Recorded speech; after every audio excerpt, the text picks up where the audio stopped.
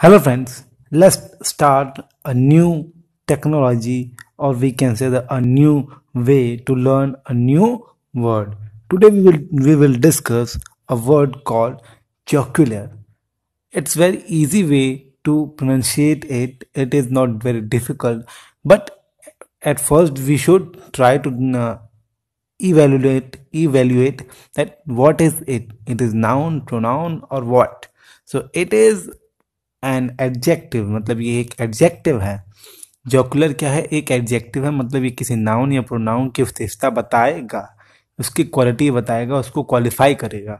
तो अब हम उसको देखते हैं, इसको प्रोनाउंशिएट कैसे करते हैं? How to pronunciate this word तो बहुत आसान है। पहले जोक जोक पे आपको ज़्यादा फोर्स करना है, क्योंकि मैंने उसको देखिए डार्क किया है बोल्ड किया है तो उसको आप ज़्यादा फोर्स करके बोलोगे jocular jocular jocular like this jocular and by this you can learn you can pronunciate it very well. And through this you can ev- evaluate your uh, way to pronunciate anything. मतलब इस तरीके से आप देख सकते हो कि किस तरीके से आप प्रोनाउंशिएट करते हो कोई भी चीज़। तो जोक्यूलर जो वर्ड है ये वर्ड क्या है? इसकी मीनिंग देखते हैं। तो इसका मतलब होता है मजाकिया।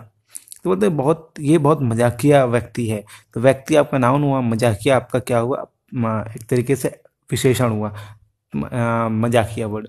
तो गिवन टू और करेक्टराइज्ड बाई और शूटेड टू जोकिंग किसी को कहना, जो, कोई किसी को जोक कहना, या कोई विशेषज्ञ जो जोक कहता हो जो जो कहता हो, उसकी क्वालिटी करेक्टरिस्टिक्स या सुटेड टू जोक जो जोक करने लायक हो। तो वैसे एडजेक्टिव को, वैसे शब्द को हम मजाकिया बोलते हैं, जो मज़ाक करने के मूड में हो, इस तरीके से।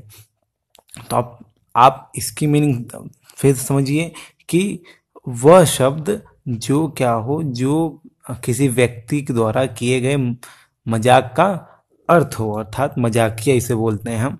और रही बात इसके हिस्ट्री की तो the history of this word is very simple this adjective is came since seventeen century ये सत्रह सौ ईस्वी, यानी कि sixteen hundred sixteen zero one से लेकर सिक्सटीन नाइन नाइन मतलब जैसे आपकी ट्वेंटी फ़र्स्ट सेंचुरी चल रही है तो यहाँ ट्वेंटी फ़र्स्ट फ़र्स्ट मतलब ये है कि टू थाउज़ेंड वन से लेकर टू थाउज़ेंड टू थाउज़ेंड से लेकर two thousand nine hundred ninety nine तक क्या चलेगा? ट्वेंटी फ़र्स्ट सेंचुरी और जैसे ही थ्री हंड्रेड आ जाएगा। तो sorry two two thousand nine hundred ninety nine ख़त्म हो जाएगा, फिर वन आएगा। तो वो हो जाएगा आपका थर्टीन सेंचुरी थर्टीन सेंचुरी और जैसे ही नाइन्टी नाइन ईयर बीतेगा, ये आपका चल रहा है टू थाउज़ेंड एटीन इस तरीके से धीरे धीरे अब नाइन्टी नाइन पहुँच जाएगा, फिर हंड्रेड होगा तो उसको हम ट्वेंटी सेकेंड सेंचुरी कहेंगे। ठीक उस तरीके से सेवनटीन सेंचुरी मतलब ये हुआ कि आप ये समझ लीजिए सिक्सटीन एक तरीके से सिक्सटीन हंड्रेड जो चला वो तो सिक्सटीन हंड्रेड सिक्सटीन ये एक्चुअली सिक्सटीन ट्वेंटी की बात की बात है, जब इस वर्ड का यूज़ होना स्टार्ट हुआ।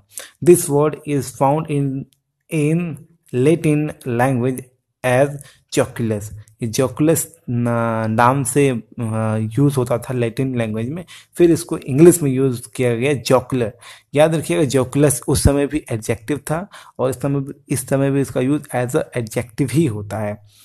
और अगर आपको वीडियो पसंद आ रही है तो आप ज़रूर कमेंट बॉक्स में अपने डिटेल लिखें। मत, कहने मतलब कि कमेंट लिखें और देखिए, रिप्लाई ज़रूर करें कि चीज़ों को समझें और बताएँ मुझे वीडियो कैसा बन रहा है अच्छा बन रहा है, ख़राब बन रहा है।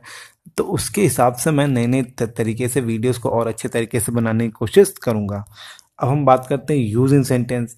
तो एडजेक्टिव क्या है? Nikita was in a jocular mood this morning when she came to home मतलब निकिता बहुत ही मजाकिया मूड में थी, बहुत मजाकिया उसका रवैया था, जब वह सुबह सुबह घर आई। तो यहाँ जॉकुलर मूड मतलब यह है कि जॉकुलर मतलब यहाँ पे क्या है? एडजेक्टिव है। मूड मतलब क्या है? पर्टिकुलर उस क्या कहते हैं फीलिंग का नाम है, जो कभी कभी हमें आती है मूड तो उसे बोलते हैं। अब हम जाते हैं इसके जो हमारा one of the also one of the most important after using sentence पहला तो आपको मीनिंग पता होना चाहिए, दूसरा आपको यूजिंग सेंटेंस ज़्यादा इंपॉर्टेंट है। एंड देन उसके बाद उसके एंटेनिम सिनोनिम्स ताकि आप उसको रिलेट कर सको बाकी शब्दों से। तो जॉक्यूलर जो वर्ड है, इसका मीनिंग आप समझिए, ये एडजेक्टिव ही आपका है कॉमिक एडजेक्टिव है। मतलब जो कॉमिक जो बड़े मजाकिय तरीके से लिखा जाए कार्टून रूप में क्रेजी पागलपन जॉली जॉली जनरली क्या होता है जॉली आपने फ़िल्म देखी होगी जॉली एलएलबी। तो जॉली एलएलबी मतलब कि जॉली मतलब क्या होता है? किसी का नाम कभी कभी कभी हम जॉली रखते हैं। मतलब बहुत ज़्यादा मजाकिया होता है तो उसको हम जॉली कहते हैं। तो जॉली वर्ड मतलब ही होता है मजाकिया। और लाफेबल मतलब हंसने लायक। तो ये भी एक तरीके से आपका एडजेक्टिव ही हुआ। मिसचीफियस जो बड़े नटखट हो, जो शरारतें करे तो वो भी एक एक साइड से आप बोल सकते हो कि मजाकिया है। मिसचिफियस मतलब मजाकिया आप समझ सकते हो, आपने यूपी बोर्ड में क्लास नाइन्थ में पढ़ा होगा first chapter Tom's Tom's wire के बारे में, उसमें मिसचिफियस वर्ड का यूज़ हुआ था।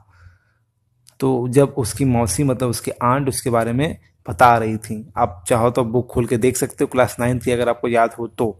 उसके बाद एंटेनिम्स जाते हैं एंटेनिम्स आप देख ही लिए होगे। तो सीरियस होना सोलमैन एकदम गंभीर होना अनफनी बिना मज़ाक के मोरोस मोरोस मतलब जो मतलब जो एकदम मज़ाक का ना हो, जो सही है वो सही है, एकदम थोड़ा दुखी होना, थोड़ा ज़्यादा मज़ाक चीज़ों को लेकर न लेने वाला व्यक्ति वाला गुड़ इसमें आप चीज़ों को ज़्यादा मजाकिया नहीं लेते हो, सीरियसली लेते हो, उसको बोलते हैं मोरोस। एनोइंग बड़ा ही परेशान करने वाला, बड़ा ही बेकार करने वाला, उसको बोलते हैं आप एनोइंग ये सब जो कुछ वर्ड हैं, ये सब वर्ड क्या हैं? ये सब वर्ड हम देख रहे हैं और भी वर्ड इससे रिलेटेड हो सकते हैं। तो उसको भी हम, आप अगर आपको आ रहा है तो आप कमेंट बॉक्स में ज़रूर डिस्कस करें और अपने दोस्तों से शेयर करें इस वीडियो को और ज़्यादा ज़्यादा लोगों को पता चले इसकी वर्ड की मीनिंग कब यूज़ हुआ, कब कब इस, इसका यूज़ होना स्टार्ट हुआ, इसका यूज़ कैसे करते हैं और डैश डैश कि कैसे इसकी हम वर्ड मीनिंग और अच्छे तरीके से याद कर सकते हैं। और लास्ट में thank you for watching this video